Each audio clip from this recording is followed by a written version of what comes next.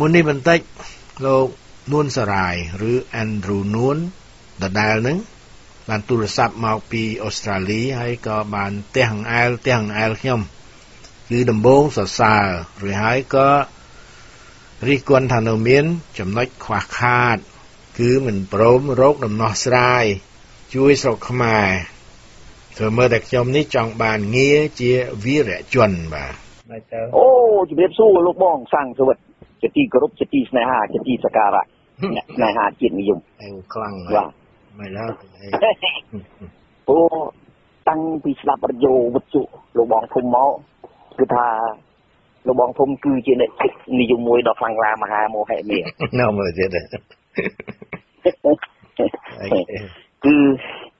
ជាអ្នកស្នាជាតិដ៏មោហិមានិយាយចំអញ្ចឹងគឺថាអត់មានលក្ខលៀនទេគឺពិតប្រាកដ លបងនិយាយក្នុងទុកវិនាទីគ្រប់ម៉ាត់គឺនិយាយអំពីយួនយកដីខ្មែរដូច្នេះខ្ញុំចាត់ទុកថាលោកបងគឺជាវីរៈជនមួយដ៏មោហិមាសម្រាប់បរតខ្មែរទូទាំងប្រជាណាចក្រកម្ពុជាមិនតាន់ហ៊ានទទួលប៉ុន្តែលោកបងបាទប៉ុន្តែលោកបងមិនទាន់រកដំណោះស្រាយជូនជាតិនៅឡើយបើសិនជាលបងរកដំណោះស្រាយជូនជាតិមួយទៀតលបងគឺជាវរៈជនមួយដ៏មោហិមាអឺ ដំណោះស្រាយមិនមកជាភ្លុះនោះប្រាប់រាល់ថ្ងៃគាត់ថាធ្វើវាមិនបានណាមិនចឹងខ្ញុំមិនមែនអ្នកណាគាត់ថាណាអ្នកថាអ្នកថាអ្នកធ្វើខុសគ្នាអឺនៅនឹងអានស្វាយហ្នឹងអ្នកធ្វើហ្នឹងធ្វើមកខ្ញុំក៏ដឹងដែរអាវិធីមិន Andrew ឯហ្នឹងវាជាវិធីមួយវាមានច្រើនវិធីណាដោះស្រាយស្រុកខ្មែរណាវិធីមួយមួយខ្ញុំនិយាយហើយខ្ញុំព្យាយាមនិយាយប្រាប់ឲ្យតែធ្វើល្បិចទៅវាបានធ្វើស្អីវាមិនបានធ្វើអីវាពេលយូរហើយវាទៅតែអញ្ចេះអញ្ចោះវាមានកុងទីស្យងវាច្រើនណាណាហ្នឹងខ្ញុំក៏មិនមិនមិនមិនមែនជាអ្នកចេះដឹងអីណាណាទៅដឹងរឿងទាំងអស់នោះទេគាត់ណានិយាយទៅថាថាទៅទៅណា ប៉ុន្តែចិត្តយើងបាន Andrew ឯហ្នឹងក៏ត្រូវហើយនឹងជាផ្លូវមួយបើថាវាបានមែនណាប៉ុន្តែវាបានឬមិនបានបាទដូចខ្ញុំធ្លាប់ជម្រាបហើយថាក្នុងទស្សនៈរបស់លោក Andrew កាលពីថ្ងៃមុនលោកអះអាងថាចង់ឲ្យចិនជួយ គឺនឹងទៅកតបកទីងណាគឺនឹងទៅ បង្កើតតបទីងនៅលើកោះ Spratly ហើយលើកតប ខ្មែរនៃចលនាដែលគណៈនេះដូចជាមានតែឈ្មោះរបស់លោកឆ្លងសមុទ្រមកវាយយកកម្ពុជាក្រោមហើយចិនក៏នឹងជួយវាយខ្ទប់ពីខាងជើងមកខ្ញុំបានសួរបញ្ជាក់ថាតើមានបានទៅជួបមេដឹកនាំចិនដោយដែលបានអួតប្រាប់ខ្ញុំមែនឬណាលោកឆ្លើយប្រាប់ដូច្នេះ អត់បាត់ទេគឺរឿងពិតមិនមាននិយាយខកថៃក៏មិនមាននិយាយលេង OK OK បាទអឺយេយេព្រោះអញ្ចេះពេលដំណឹងល្អហួសហួពេកយ៉ាងណាវាល្អហួពេកទៅរយជឿមិនបានណា too good to be true អឺព្រោះអញ្ចេះលបងឥឡូវខ្ញុំសូមនិយាយលងរឿងមួយរឿងនយោបាយស្រុកខ្មែរ OK វាជាគេហៅជាលបាញ់គ្រោះថ្នាក់របស់អាមេរិកាំងលបាញ់គ្រោះថ្នាក់របស់អាមេរិកាំងដូចសម័យសង្គ្រាមឥណ្ឌូចិនសម័យ យើងពួកអាហាណូយនិងអាប៉េងកូអាសៃកងវាវៃគ្នាអញ្ចឹងបាទនេះហើយវាចាប់ដៃជាមួយសាធារណរដ្ឋលន់នល់លោកលន់នល់ខ្ញុំក៏ចូលរួមនឹងវាសងប់សម័យអាពតដែរអឺទីបំផុតគឺអាមេរិកាំងរត់ចោលយើងតាំងពីឆ្នាំ1900រឿងរឿងហ្នឹងស្ដាប់ស្ដាប់ស្ដាប់ខ្ញុំបន្តិចទៅខ្ញុំដឹងខ្ញុំដឹងរឿងអញ្ចឹងអស់ហ្នឹងណាវ៉ាន់សានណាប៉ុន្តែរឿងខាងក្នុងវាអញ្ចេះ យើងបាទណាយើងអត់យល់ទេយើងគិតតែពីបន្ទោសអាមេរិកកាំងមែនទែនវាមិនមែនទេអាមេរិកកាំងចូលទៅវៀតណាមហ្នឹងតាំងពីឆ្នាំណា1954ពេលដែលអឺអាឌៀនបៀនហ្វូណាអាយួនវាវាយអាបារាំងសេះងាប់ឡើងប្រមាណ10000ផ្លែអ្នកហ្នឹងចាំបានទេពេលហ្នឹងណាអឺអាបារាំងចាញ់ហើយចេញអញ្ចឹងមានអាកុងហ្វឺជឺណែលឆ្នាំ1954អាមេរិកវាចូលមកជំនួស ហើយតាំងពី54រហូតមកដល់73តែវាមកនិយាយគ្នាណា54ប្រហែលឆ្នាំយ៉ាងឃើញទេអាមេរិកកាំងវាត្រូវប្រជាជនវាជេរលបើកមេឃហើយណានៅខាងអ៊ីស្រុកនេះនៅអាមេរិកនេះអញ្ចឹងទៅវាវាវាវាដល់កវាហើយវាបដូររដ្ឋាភិបាលវាច្រើនអ្នកអញ្ចឹងម្នាក់ម្នាក់ទំនិតវាផ្សេងអាពេលហ្នឹងឲ្យយើងសួយអាពេលដែលគេកំពុងមកដកយើងទៅកើតអាឆ្នាំ70ហ្នឹង ហើយយើងអត់ដែលមានសសន្ធិសញ្ញាអត់ដែលមានចុះស្អីស្អីជាមួយនឹងអាមេរិកទេរឿងហ្នឹងណាហើយយើងចំណាំអាមេរិកជួយអាមេរិកជួយអាមេរិកជួយអីវាវាដកខ្លួនចេញទៅហើយហ្នឹងអូខេចឹងទៅលោកលោកបងមានប្រសាសន៍ហ្នឹងគឺខ្ញុំយល់ស្របខ្ញុំឯកភាពឬហើយលោក Andrew ក៏បានយកការសម្ងាត់របស់យួនបាទយួនខាងជើងយួនត្បូងលោកថាយួននៅតែជាយួនដដែលព្រោះគោលបំណង របស់ពួកវាគឺចង់សម្រាប់ខ្មែរសម្រាប់ឡាវឲ្យអស់អស់ទៅបាទលោកបានយកការសម្ងាត់របស់យួនមកប្រាប់តែរឿងនេះពិតឬមិនពិតសូមអញ្ជើញលោកនាងស្ដាប់បន្តិចទៅមើលហើយយើងក៏បានជជែកគ្នាយ៉ាងច្រើនអំពីវិធីដោះស្រាយរឿងរបស់កម្ពុជាបាទវែងបន្តិចតែខ្ញុំថាលោក Andrew ដែលលោក ហាក់ដូចជាបដូរជំហរពីចង់ចូលដៃចូលជើងជាមួយនឹងចិន មកសុំធ្វើកុងត្រារយៈវែងជាមួយនឹងអាមេរិកវិញ បាទលោកថាមុននឹងទៅរកចិនឲ្យមករកអាមេរិកសិនបើសិនជាអាមេរិកនៅតែបដិសេធសុំទៅរាប់ទៅរកចិនបាទរឿងនេះវែងតែខ្ញុំគិតថាជាគំនិតដែលយើងគួរតែយកមកពិចារណាបាទអញ្ចឹងខ្ញុំបានដំណឹងពីរនៅក្នុងប្រទេសអូស្ត្រាលីដែលខ្ញុំអឺ ចូលរួមស្ដាប់របស់ពួកសមាគមការឧស្សាហកម្មអាហារណូយនិងសហគមន៍មកពេងពោវាជជែកគ្នាវាប្រជុំគ្នាវាវាហើយអានេះខ្ញុំជាអ្នកពេទ្យកជាអ្នករស់ស៊ី business ហើយខ្ញុំតែងតែជួយអង្គការគេហ្នឹងគឺថា donation institute ទៅហើយខ្ញុំអត់មានថាខ្ញុំជាខ្មែរទេខ្ញុំថាខ្ញុំជាថៃឡង់បាទណាយ៉ាហើយខ្ញុំថាខ្ញុំជាថៃឡង់ហើយហើយវាយើងធ្វើជាគេហៅខ្ញុំ យើងជាជាគិញណាជាយកយកយកបាទជាគិញបាទខ្ញុំថាខ្ញុំនឹងថៃឡង់ឯងវាសួរខ្ញុំកម្ពុជាខ្មែរអឺមៀងគេថាមៀងហើយយកកម្មមៀងខ្ញុំថាមិនមៀងទេគឺថាថៃឡង់ហើយម្ល៉េះហើយយើងចូលទៅស្ដាប់គ្នាពួកហ្នឹងគេនិយាយពួកអាស័យកងវាសួរថាសួរអាហាននុយថាឯងហេតុអីបានជាឯងមិនព្រមបីស្លាប់លីនឹងប៉ារ៉ាសែលហើយឯងបានចុះសន្ធិសញ្ញាជាមួយចិនកាលសម័យសង្គ្រាមឥណ្ឌូចិនហ្នឹង ថាដែនដីស្វាលីប៉ារ៉ាសែលជារបស់ចិនឥឡូវនេះយើងជាសមាគមប្រេងគោហើយយើងជាតំណាងឲ្យរដ្ឋាភិបាលប្រេងគោមិនសុខចិត្តទេគឺស្វាលីប៉ារ៉ាសែលជារបស់យួនដូច្នេះអាមេរិកគឺគេនិយាយហ្នឹងគេថានេះតាមរបស់គេគេថាគេនឹង support អាមេរិកគេនឹងទទួលស្គាល់អាមេរិកដែលធ្លាប់ជួយគេតាំងពីសម័យសង្គ្រាមឥណ្ឌូចិនហើយបើសិនជាសង្គ្រាមស្វាលីនិងប៉ារ៉ាសែល បើយួនយួនហាណូយនឹងយួនយួនហាណូយនឹងមិនព្រមវៃទេសូមឲ្យរដ្ឋាភិបាលយួនហាណូយនេះចុះចេញគេនឹងលើករដ្ឋាភិបាលមួយសៃកងនឹងគឺលើកឡើងគឺយកតែជំនាញការដែលមេតបមេតបរបស់ពួកអាសៃកងពួកអីហ្នឹងនៅស្រុកអាមេរិកហ្នឹងគឺយកមកឡើងកាន់កាត់ប្រទេសជាតិហើយគេនឹងបៃបៃកោអូខេបែវាយប្រេងគោមិនអ្វីស្អីវាយអីវាយវាយវាយវាយប្រាក់ប៉ាលីវាយវាយប្រាក់លីនិងប៉ារ៉ាសែលសំទោសវាយប្រាក់លីនិងប៉ារ៉ាសែលវាយចិនថាអញ្ចឹងហើយអាហ្នឹង អើវាយចិនហើយដល់ហើយអឺអាហាណូយនេះវាថាវាថាប្រេងគោវាថាហើយកុំអាមាត់ព្រោះយើងយកដីកម្ពុជានឹងយកឲ្យស្ងាត់សិនយើងកុំអាទាំងខំព្រោះរឿងហ្នឹងគឺយើងគង់តែយើងនិយាយជាមួយពួកអាអាអាហាណូយហ្នឹងយើងជាហាណូយហ្នឹងគង់តែនិយាយគ្នាទេជាមួយពួកអ៊ីងកូហ្នឹងព្រោះឯងដឹងហើយព្រោះដែនដីកម្ពុជាក្រោមគឺដោយសារសង្គ្រាមបារាំង ពួកវិតមិញវិតកុងអីពួកទាំងអស់ហ្នឹងដែលយើងរួមគ្នាទៅទីបំផុតគឺបារាំងបានប្រកបដីកម្ពុជាក្រោមមកឲ្យយើងប៉ុន្តែដីភ្នំពេញហ្នឹង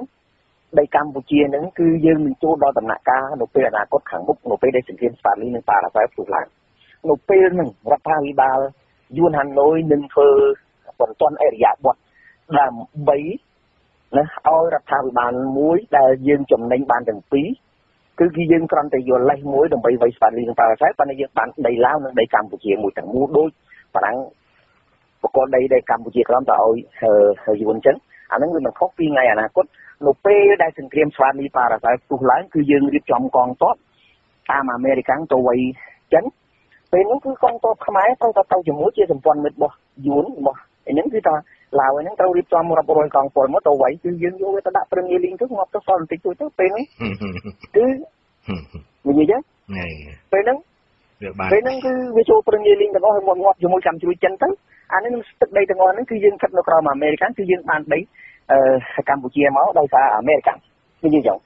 ខ្ញុំថាចុយចុយអានេះគោលការណ៍គោខ្លាំងម៉េះនឹកអញ្ចឹងហ៎ញ៉ាពួកគិតវែងឆ្ងាយហ្នឹង អានេះវាគិតវែងឆ្ងាយអញ្ចឹងដល់អញ្ចឹងខ្ញុំថាអាយ៉ាអញ្ចឹងមហាទស្សនៈកម្ពុជាហើយដូច្នេះវានិយាយអញ្ចឹងហើយវាថាឥឡូវនេះសុំឲ្យអាពេញគោឯងនៅឈាមសិនហើយកុំអើឲ្យចាំមើលការចរចាគ្នាជាមួយអាមេរិកសិនចាំមើលស្ថានភាពប៉ាលីប៉ារ៉ាសែលសិនយើងគង់នឹងធ្វើស្ថានភាពហ្នឹងឲ្យវាកើតឡើងទេហើយយើងបីហ្នឹងគ្រាន់តែជាលេសទេហើយពេលដែលទីបំផុតសម្រាប់ហ្នឹងគឺសង្គ្រាមធំគឺនៅលើពួកអាស័យកងហើយវាថាយ៉ាងហើយដូច្នេះ អានឹងរឿងនិយាយអញ្ចឹងអានឹងរឿងមួយដែលខ្ញុំបានចូលរឿងស្ដាប់ប៉ុណ្ណឹងហើយដូច្នេះខ្ញុំសូមជម្រាបថាយើងបើសិនជាដូចវាថាប្រេងកោគឺអាមេរិកអាបារាំងអ្នកបកទឹកដីប្រេងកោទៅឲ្យពួកយួនសៃកងដូច្នេះចិនដែលកាលសម័យសង្គ្រាមឥណ្ឌូចិនបារាំងចាញ់សង្គ្រាមឥណ្ឌូចិនដកកងទ័ពចោលថយចេញទៅឲ្យកុម្មុយនីសឈ្នះយកដីកម្ពុជាឥឡូវនេះអាកុម្មុយនីសវាធ្វើចាញ់ ឲ្យពួកអាស្រ័យកងបានន័យថាយកដីកម្ពុជាដដែលបានន័យថាអឺឆ្លាសស្មាខ្លោលេបចាប់កដោស៊ីទាំងអស់ដូចគ្នាដែរដូច្នេះយើងអត់ត្រូវការនោះដល់នៅដែលខ្ញុំយល់ថាអាមេរិកខ្ញុំមើលរដ្ឋាភិបាល Donald Trump អាមេរិកព្រោះខ្ញុំមើលទៅកាលដែលអាមេរិកដកតបថយចេញនេះគឺសភាកុងក្រេអាមេរិកហ្នឹងមិនអាចយកកងទ័ពឬជំនួយណាមួយដើម្បីមកជួយច្បាំងនៅក្នុងឥណ្ឌូចិនតទៅទៀតបានទេព្រោះគេបានសម្រេចចឹងហើយបើមិនជាអាមេរិកលុបចោលអាចជាប់ហ្នឹងអាហ្នឹងបានមានតទៅទៀត ហើយដូច្នេះខ្ញុំមើលរដ្ឋាភិបាលត្រាំមិនអាចជួយខ្មែរដើម្បីបដិញយួនចេញពីខ្មែរបានទេខ្ញុំមើលនយោបាយចឹងអានេះខ្ញុំមើលឃើញថាអាមេរិកមិនអាចជួយខ្មែរដេញយួនចេញពីខ្មែរបានទេរឿងវាធម្មតាទេរឿងវាធម្មតាទេវាត្រូវតែអញ្ចឹងហើយព្រោះថាខ្មែរមានខ្មោចលងអីអាចិត្តអាយុណាតាតែវាមានស្អីស្អីវាមានមនុស្សឡើងជិត100លានណាណាល្មមតតទាំងចិនបានល្មមអីហើយម្យ៉ាងទៀតអាមូលដ្ឋានតបចាស់ចាស់ផងអាអាមេរិកក៏នៅនឹងស្រាប់ហើយដោយសុណាអញ្ចឹងណា នៅដល់អាងហ្នឹងណាវាមិនបាច់ទៅធ្វើអីទេជួសជុលទេវាប្រើការបានទាំងអស់ហើយទឹកក៏ជ្រៅជាងវាអញ្ចឹងបានគេថាវាវាត្រូវអានេះ geopolitics អានឹងរឿងធម្មតាទេយើងដឹងទៅហើយតែខ្មែរយើងវាអត់មានប្រៀបធៀបជាមួយនឹងអាយណាអាមេរិកវាត្រូវទៅយួន គ្រាន់តែអញ្ចេះវាវាវាមានចេះទេវាមានចេះទេបើសិនជាយើងអត់ទាន់ស្គាល់ Donald Trump ទេទាំងអស់គ្នាណាគាត់បានតែស្មានបាទេមិនដឹងចិត្តគាត់មិនទេហើយមនុស្សនឹងអត់ដូចអត់ដូចឯងទៀតអត់ដូចគេអត់ដូចឯងណាតើថាបើសិនជាយើងគូលបានចូលចិត្តបានណានិយាយគ្នាបានអីជាមួយនឹង Donald Trump អានឹងរឿងមួយផ្សេងទៀតគេអាចនឹងតាមនយោបាយគេគេអាចនឹងលេងជាមួយនឹងយួនដោយប្រើយួននឹងជា buffer ណា មិនចឹងប៉ុន្តែគេអាចនឹងជួយការពារខ្មែរយើងក៏បានដែរហ្នឹងជា buffer ទី2អឺរឿងហ្នឹងបើសិនជាខាងអាមេរិកគេជួយយើងមិនចាំបាច់ច្បាំងផងនិយាយមែនទេណាណា មិនចាំបាច់ច្បាំងនេះយើងធ្វើឲ្យច្បាប់ទៅជាច្បាប់អញ្ចឹងយើងអាចដេញពួកយួនចេញទៅបានពួកដែលខុសច្បាប់ទៅអីទាំងឡាយណាពួកដែលបានមកថ្មីថ្មីអីនឹងពួកអាចង្រៃហ៊ុនសែនវាធ្វើអីអញ្ចឹងគេថាតើគេនឹងជួយយើងឬមិនជួយវានៅនឹងយើងទៅនិយាយជាមួយនឹងគេយើងមិនទាំងដែរនិយាយអីផងនោះមិនអញ្ចឹងហ៎ OK ឥឡូវមួយ OK ឥឡូវមួយទៀតអានេះជា plan របស់ខ្ញុំណាលោកតាំងជីវិតគឺជាកម្រងមួយដែលខ្ញុំមុននឹងខ្ញុំអានេះការដែលខ្ញុំទៅជួប នឹងមិនទាន់ជួបទៅដល់មេដឹកនាំចិននេះខ្ញុំជួបត្រឹមតែមួយខំបាក់យោធាចិននេះ OK ដូចតូចទេក្នុងក្នុងតំបន់ក្នុង region នេះហើយដូច្នេះពួកខ្ញុំធ្លាប់នឹងមកកាន់នៅក្នុងសម័យចលនាតស៊ូរបស់ចលនាតស៊ូរចូលរវខរបស់សឿនសានហ្នឹងគឺយើងធ្លាប់បានជួបចិនយើងបានសម្ភារៈសិទ្ធិមួយចំនួនយើងទុកយួននៅរដ្ឋព្រំព្រៀងប៉ារីព្រោះយើងបានទៅជួបអាមេរិកនៅបាងកកដែរអាមេរិកគេថាគេជួយណែឯងទៅជន់ពីខ្លួនទេទាំងកស៊ីទេគឺថា រឿងទុកយួនរឿងរឿងឯងគឺគេមិនអាចជួយបានទេឥឡូវនេះអឺខ្ញុំយល់ថានៅពេលដែល Donald Trump ឡើងកាន់អំណាចហើយយើងចាំមើលកុងស៊ុលឬក៏អឺ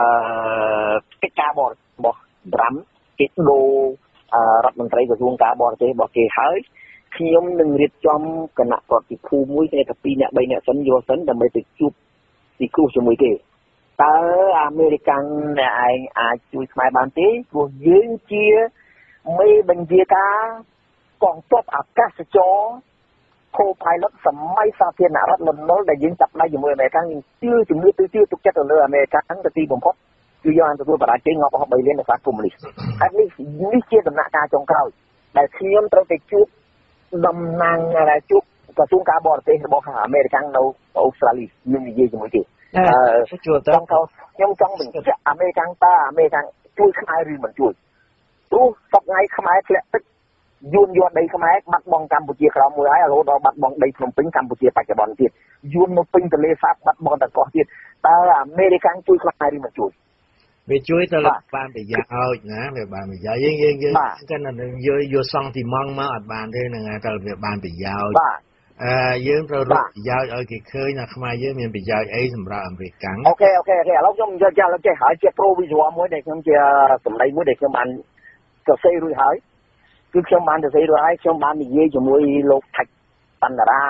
ថាច់អីទាំងអស់ហ្នឹងខ្ញុំបាននិយាយរួចហើយខ្ញុំថាទីមួយគឺខ្ញុំចង់ជួបខ្ញុំចង់ជួបក្រសួងការបរទេសអាមេរិកទី1គឺយើងចង់ធ្វើសម្ព័ន្ធមិត្តអាមេរិក300ឆ្នាំជាស្មានបានបានសរសេរជាភាសាខ្មែរផងអង់គ្លេសរួចរាល់អស់ហើយ នៅក្នុង document របស់ខ្ញុំសូមធ្វើសម្ព័ន្ធមិត្តអាមេរិក300ឆ្នាំសូមចូលជា Commonwealth អាមេរិកសូមធ្វើជាសម្ព័ន្ធមិត្ត300ឆ្នាំហើយឈុំសមុទ្រទាំងឡាយលើទឹកដីកម្ពុជាជាបេមូលដ្ឋាននៃនាវាចម្បាំងរបស់អាមេរិកជាគាត់ត្រូវការចិននេះអានេះគឺយើងនិយាយចឹងបាទនេះហើយយើងទទួលស្គាល់តៃវ៉ាន់តាមរយៈអាមេរិកនេះថាតៃវ៉ាន់ជាប្រទេសមួយថាតមួយនៃប្រទេសមួយហើយដែរហើយយើងត្រូវការអាមេរិកជាសម្ព័ន្ធមិត្តឈរជើងលើទឹកដីខ្មែរ300ឆ្នាំក្នុងជាសម្ព័ន្ធមិត្ត សេអាតូលអូតង់ទៀតចាំខ្ញុំកាត់បន្តិចណារឿងខ្មែរណាវាទៅតែឲ្យអាមេរិកឃើញថាបើសិនជា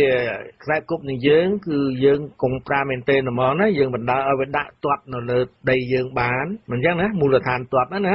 ចង់ចង់មូលដ្ឋានក៏បានដែរអត់មានការដេញអត់មានអីអីទាំងអស់មូលដ្ឋានខ្ញុំបាននិយាយហើយណាតែនេះខ្ញុំបានទៅទេហើយគឺមូលដ្ឋាននាវាចម្បាំង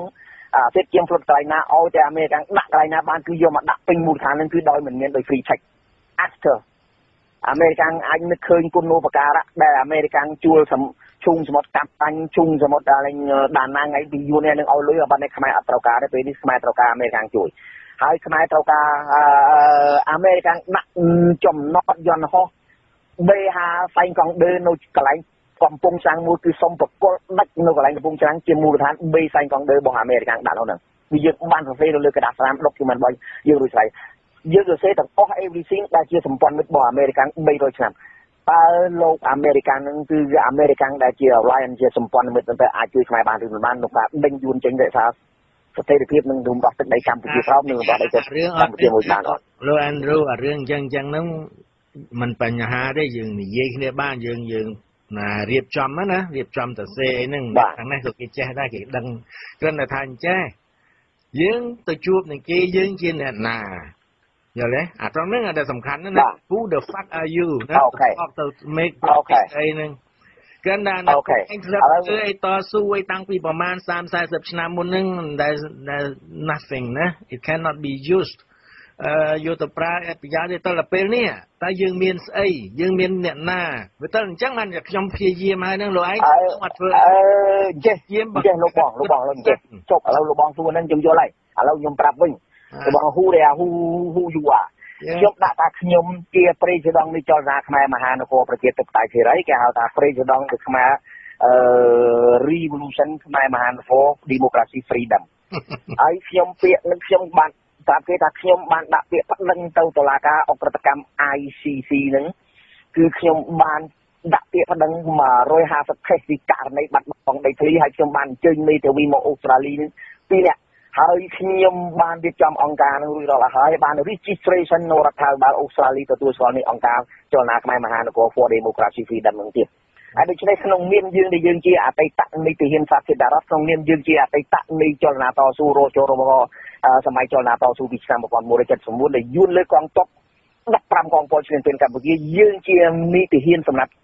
រៀបចំកងទ័ពឯកសណ្ឋានកងទ័ពនិងតាក់ទិកបច្ចេកទេសចម្បាំងទៅលើជាមួយយួនទើបមានកិច្ចព្រមព្រៀងឡើងហើយនេះយើងសុំឲ្យអាមេរិកជួយយើង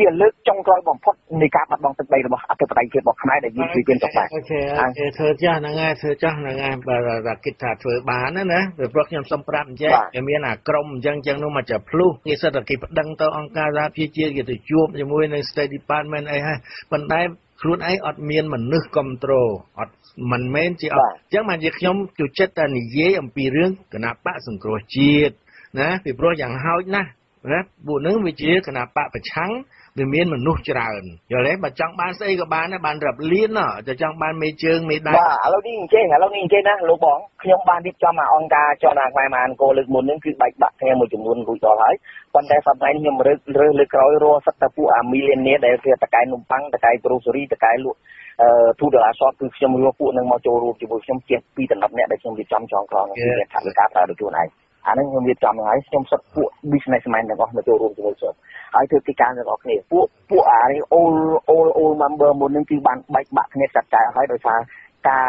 ចង់បានមហិច្ឆតានេះបុណ្យស័ក្តិអំណាចចង់បានលេងកៅស្អីគេនោះអូខេអូខេហ្នឹងហើយទៅហ្នឹងហើយខ្ញុំខ្ញុំគ្រប់ត្រូលណាធ្វើចាស់ហ្នឹងហើយខ្ញុំគ្រប់ត្រូលបាទ គឺយើងមានឱកាសពីរគឺយើងទៅនិយាយជាមួយអាមេរិកហ្នឹងព្រោះយើងរស់នៅលើទឹកដីប្រទេសសេរីប្រជាធិបតេយ្យគឺយើងចង់បានប្រទេសសេរីប្រជាធិបតេយ្យដោយអាមេរិកគឺជាមហាអំណាចពិភពលោកជួយយើងដែរប៉ុន្តែដំបុនដែលយើងឆ្លងកាត់ទៅលើអ្វីមួយដែលយើងឈោងចាក់ទៅលើមហាអំណាចណាមួយគឺយើងត្រូវនិយាយមួយមហាអំណាចដែលយើងឈរលើជើងនៅលើដែលយើងស្បធ្វើការជាមួយគេយូរមកហើយដែរឲ្យអស់ចិត្តសិនខ្ញុំនឹងជួបស្ថានទូតអាមេរិកនៅប្រទេសអូស្ត្រាលីចិនបេរ៉ានិយាយអស់ចិត្តពីរឿងបញ្ហានេះហើយខ្ញុំក៏អត់ខ្លាចនឹងប្រ ខ្ញុំអត់អត់ខ្លាចនឹងនឹងរៀបចំគណៈកម្មការទៅតែ5នាក់ឬ6នាក់ឬ3នាក់4នាក់ឬហើយបើថាអាមេរិក say no ដូចកាលសម័យដែលយើងទៅជាមួយអេដាមស៊ុនសានទៅជាមួយឌៀនដែលសក្តិស្កនតាច់រេងយីងកន្តុនដែលទៅជួបស្ថានទូតអាមេរិកនៅបាងកកគេនិយាយថា no យើងមិនអាចជួយណែឯងបានទេក្នុងការប្រឆាំងនឹងយួនព្រោះអាមេរិកបានសម្រេចនៅក្នុងសភាកុងក្រេនឹងមិនអាចលើកតបមកជួយឬបាច់ផ្ដល់អាវុធទៅឲ្យប្រទេសនៅក្នុងអនុចិនតទៅទៀតទេដូច្នេះឯងងាកទៅរក សុំជំនួយពីមហាមិត្តចិនទៅអានេះបានយើងទៅជួបចិនបានយើងបានមានអាវុធនឹងតទល់ជាមួយនេះដល់រហូតដល់កិច្ចព្រមព្រៀងប៉ារីដូច្នេះឥឡូវនេះយើងចង់និយាយអានេះម្ដងទៀតចង់និយាយអានេះម្ដងទៀតចប់រឿងវាដដែលរឿងវាដដែលហ្នឹងគឺ situation ណាស្ថានភាពគឺអាយួននេះវាជា a country at peace វាមានច្បាប់វាណាគេហៅថា neutrality act របស់អាមេរិកហ្នឹងណា វាអត់ឲ្យចូលទៅលូកលាន់ទេបើសិនជាខ្លួនវាមិនចង់ចូលលូកលាន់អ្នកណាដតីចូលទៅវាចាប់ដោយជន់យ៉ាសិតនៅចាប់ដាក់គុកឃើញទេអានឹងមកអាស្រុកយួនហ្នឹងវាមិនមែនជាសត្រូវមិនមែនជាអ្នកតតល់ច្បាំងគ្នាណាទោះជាវាកុម្មុយនីនឹងក៏ដោយមែនទេយើងគិតថាអាយួនកុម្មុយនីយើងសេរីយើងគួរតែធ្វើបានអញ្ចឹងណាប៉ុន្តែអត់ទេ ច្បាប់វាវាយកច្បាប់អានឹងអា neutrality act នឹងមកនឹងចាប់ដាក់គុកច្រើនអ្នកហើយប៉ុន្តែយើងទៅនិយាយជាមួយអាមេរិកាំងយើងអត់សុំអាមេរិកាំងផ្ដល់ជំនួយផ្ដល់អាវុធដល់អីទេយើងសុំឲ្យអាមេរិកាំងធ្វើនយោបាយត្រជាក់តាមវិធីណាមួយដែលអាមេរិកាំងអាចជួយបានក្នុងការរំដោះទឹកដីកម្ពុជាយើងយើងនិយាយយ៉ាងមួយហើយបើអាមេរិកាំងជួយជួយគ្រប់គ្រងពីជាប្រយោលណាជាប្រយោលអីអញ្ចឹងបាទបាទអានោះអញ្ចឹងហើយបើសិនជាអាមេរិកាំង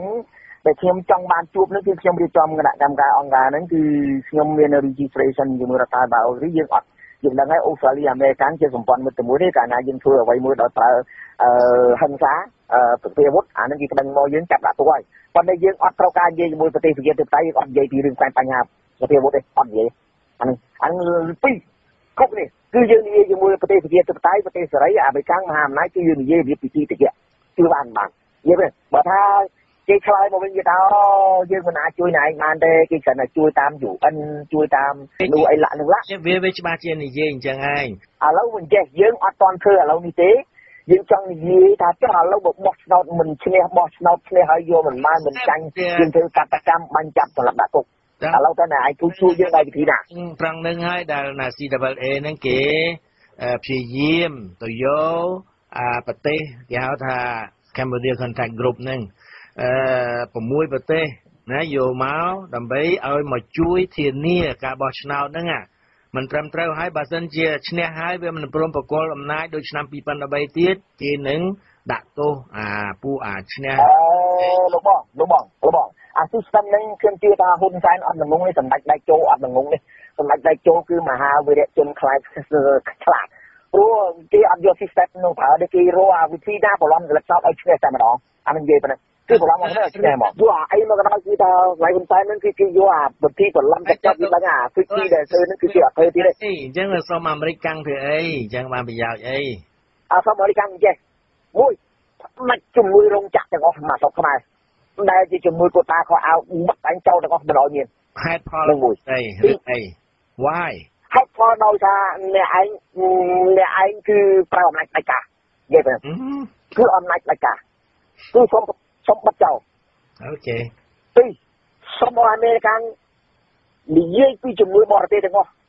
ពុំមកស្រោឲ្យសុខខ្មែរទាំងអស់ក្នុងមួយឆ្នាំ1000លានដុល្លារតើធ្វើបានអាមេរិកធ្វើបានទេបើអាមេរិកមិនអាចធ្វើបានអាមេរិកថាសេណូយួនលើកងទ័ព15កងពលចូលមកស្រុកនេះឯងមែនដើម្បីរំដោះពលពតផ្ដាច់ការលទ្ធិផ្ដាច់ការពលពតកាប់សម្លាប់ពលពតអុកក្រតកម្មដូច្នេះគេត្រូវមកជួយសង្គ្រោះខ្មែរបានជាគេមិនជួយអ្នកឯងអូខេឥឡូវបើថាអ្នកឯងនិយាយអញ្ចឹង យើងទៅនិយាយមួយមហាអំណាចមួយទៀតឥឡូវយើងអានេះគោលការណ៍ហ្នឹងគឺយើងទៅនិយាយមហាអំណាចមួយទៀតអាមហាអំណាចមួយទៀតគឺអាមហាអំណាចបីកាត់ចាក់បីកាត់ចាក់បើអាមហាអំណាចបីកាត់ចាក់ខ្ញុំក៏អត់ត្រូវការនៅអូស្ត្រាលីដែរខ្ញុំទៅនៅដេកនៅកោះស្លាតលីនឹងប៉ារ៉ាសែលទៅហាត់អឺបាញ់កំជ្រួចបាញ់ទៅហាត់បើយើងមកអាមេរិកមួយទឹកនៅលើការ៉ាសែលបាទតើអស់លោកអ្នកនាងយល់ថាជំហររបស់លោក Andrew Noon ត្រឹមត្រូវឬទេបាទស្ដាប់ទៅដូចមនុស្ស ជានីធម្មតាឬក៏នៅខ្វះនេះខ្វះនោះគំនិតរបស់លោកអាចយកមកអនុវត្តបានដែរឬក៏មិនបាន ឬនិយាយគ្រាន់តែឲ្យលឺផុតផុតពីមាត់ទៅបាទខ្ញុំយល់ស្របនឹងគំនិតចង់ឲ្យសហរដ្ឋអាមេរិកមកជួយខ្មែរមកធ្វើជាចង្វាយរបស់ខ្មែរតែម្ដងព្រោះខ្ញុំដឹងថាអាមេរិកនឹងមិនបំផ្លាញស្រុកខ្មែរដោយដែលពួកអដេរឆាន ឬក៏ចិនឬក៏យួនវាកំពុងតែធ្វើសប្តាហ៍ថ្ងៃនេះឡើយបញ្ហាវានៅត្រង់ថាតើយើងធ្វើយ៉ាងណាទៅទៅសហរដ្ឋអាមេរិកគេមើលឃើញតម្លៃនៃប្រទេសយើងហើយគេចង់មកការពារយើងនោះអរលោកអ្នកនាងមេនស្ដាប់ជាទីគោរពរាប់អានដើម្បីឲ្យសិភៅរឿងពីរបបផ្ដាច់ការមកប្រជាធិបតេយ្យរបស់លោកសាស្ត្រាចារ្យ Gene Sharp ឆាប់ចប់ ខ្ញុំសូមអានបន្តមួយវគ្គពីរទៀតមានសេចក្តីដូចតទៅបាទបាទម្សិលមិញខ្ញុំបាទអានដល់ទំព័រទី101ត្រង់ clear ត្រង់ប្រយោគដែលថាគេគួរតែប្រើពាក្យពេចន៍សាមញ្ញដែលប្រជាពលរដ្ឋភាគច្រើនអាចងាយយល់រដ្ឋធម្មនុញ្ញមិនគួរមានលក្ខណៈស្មុគស្មាញ ឬក៏ស្រពេចស្រពិលដែលមានតែពួកអ្នកច្បាប់ឬក៏បញ្ញាជនដែលអាចអះអាងថាគេយល់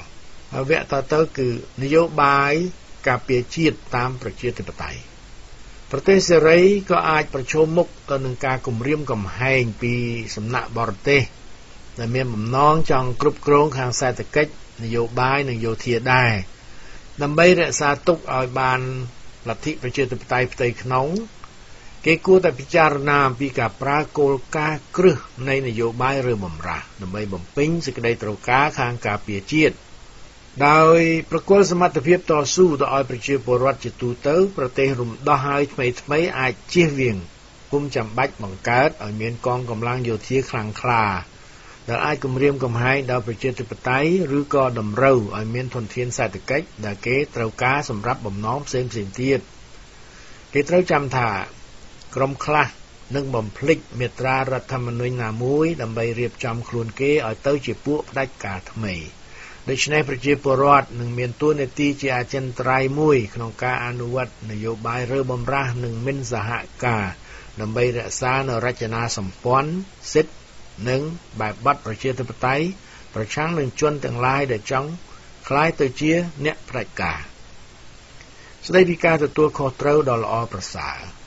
អនុភាពនៃការតស៊ូអហិង្សាមិនត្រឹមតែធ្វើឲ្យពួកផ្ដាច់ការចុះខ្សោយហើយផ្ដួលរំលំអ្នកទាំងនោះទេ គឺថែមទាំងជួយឲ្យអ្នកដែលគេជិះជាន់คล้ายទៅជាអ្នកមាន ការទុកចិត្តលើខ្លួនឯងទៀតផងមធ្យោបាយនេះធ្វើឲ្យអ្នកដែលធ្លាប់តែមានអារម្មណ៍ថាខ្លួនឯងគ្រាន់តែជាកូនត្រីឬក៏ជាអ្នករងគ្រោះ ទៅជាអ្នកមានអំណាចដោយផ្ទាល់ដើម្បីទាមទារសេរីភាពនិងយុត្តិធម៌បន្ថែមដោយខ្លួនឯងបទពិសោធន៍នៃការតស៊ូនេះមានឥទ្ធិពលខាងចិត្តសាស្ត្រដ៏សំខាន់ដែលជួយឲ្យមានការគោរពនិងទុកចិត្តលើខ្លួនឯងបន្ថែម ក្នុងចំណោមអ្នកដែលធ្លាប់តែយល់ថាគេធ្វើអ្វីមិនកើតឡើយផលប្រយោជន៍សម្រាប់ពេលវែងឆ្ងាយមួយនៃការតស៊ូអហិង្សាដើម្បីបង្កើតជារដ្ឋាភិបាលប្រជាធិបតេយ្យ គឺសង្គមទាំងមូលនឹងមានសមត្ថភាពបន្ថែមដើម្បីដោះស្រាយបញ្ហា ដែលចេះតែមានជាបន្តនឹងបញ្ហានៅអនាគតបញ្ហាទាំងនោះមានដូចជាការធ្វើផ្ដេសផ្ដាសនិងអំពើពុករលួយរបស់រដ្ឋាភិបាលក្នុងពេលអនាគតការធ្វើបាបលើក្រុមណាមួយអយុត្តិធម៌ក្នុងសេដ្ឋកិច្ចនិងការខ្វះគុណភាពប្រជាធិបតេយ្យនៃប្រព័ន្ធនយោបាយ ប្រជាពលរដ្ឋដែលមានបទពិសោធន៍ក្នុងការប្រើនយោបាយឬបំរាស់ប្រហែលជាមិនអាចចុះខ្សោយនៅចំពោះមុខរបបផ្ដាច់ការអនាគតនោះឡើយបន្ទាប់ពីការរំដោះនោះហើយការចេះដឹងអំពីការតស៊ូអហិង្សានឹងផ្ដល់នៅជំរើសនានាដើម្បីការពារប្រជាធិបតេយ្យសេរីភាពស៊ីវិលសិទ្ធិរបស់ក្រមភាគតិច និងបបសិទ្ធនៃរដ្ឋាភិបាលប្រចាំតំបន់រដ្ឋនិងស្រទាប់ក្រោមនិងស្ថាប័នក្រៅរដ្ឋាភិបាលជំរើសទាំងនេះក៏ផ្ដល់ដែរនៅមធ្យោបាយសម្រាប់ឲ្យមនុស្សម្នានិងក្រុមផ្សេងផ្សេងសម្ដែងការមិនសប្បាយចិត្តយ៉ាងខ្លាំងណាមួយដោយសន្តិវិធីទៅលើបញ្ហាដ៏សំខាន់ទាំងឡាយដែលជួនកាលអាចជំរុញក្រុមប្រឆាំងឲ្យទៅរកភេរវកម្មឬក៏សង្គ្រាមឆ្លូត គំនិតទាំងឡាយក្នុងការពិនិត្យវិភាគអំពីនយោបាយឬបំរាស់ឬក៏ការតស៊ូអហិង្សានេះ គឺសម្រាប់ជួយអ្នកឬក្រុមទាំងឡាយណា ដែលមានបំណងបំបត្តិការជិះជាន់ទៅលើប្រជាពលរដ្ឋហើយនឹងរៀបចំឲ្យមានប្រព័ន្ធប្រជាធិបតេយ្យរឹងប៉ឹងដែលគោរពសេរីភាពមនុស្សនិងសកម្មភាពរបស់ប្រជាពលរដ្ឋដើម្បីធ្វើឲ្យសង្គមមានដំណើរជឿនលឿនទៅមុខ គេមានសេចក្តីសន្និដ្ឋានសំខាន់សំខាន់3ដែលលេចចេញពីគំនិតទាំងនោះ1ការរំដោះពីរបបផ្ដាច់ការជាការដែលគេអាចធ្វើទៅបាន2ដើម្បីសម្រេចការនេះគេត្រូវឲ្យមានការត្រេះរិះដោយប្រុងប្រយ័ត្ននិងផែនការយុទ្ធសាស្ត្រហើយ3គេត្រូវឲ្យមានការតាមដានដោយម៉ត់ចត់ការខំខ្នះខ្នែងធ្វើការងារនិងការតស៊ូប្រកបដោយវិន័យ ពាក្យដែលគេធ្លាប់និយាយថាសេរីភាពមិនមែនបានមកដោយមិនបង់ថ្លៃយ៉ាងងាយស្រួលនោះទេ គឺជាពាក្យពិតគ្មានកម្លាំងពីក្រៅណាមួយនឹងឲ្យដល់ប្រជាពលរដ្ឋដែលស្ថិតនៅក្រោមការជិះជាន់នៅសេរីភាពដែលគេចង់បានជាខ្លាំងនោះឡើយប្រជាពលរដ្ឋនឹងត្រូវតែរៀនសូត្រអំពីរបៀបដែលគេអាចឆក់យកសេរីភាពនេះដោយខ្លួនឯងការនេះមិនមែនងាយស្រួលទេ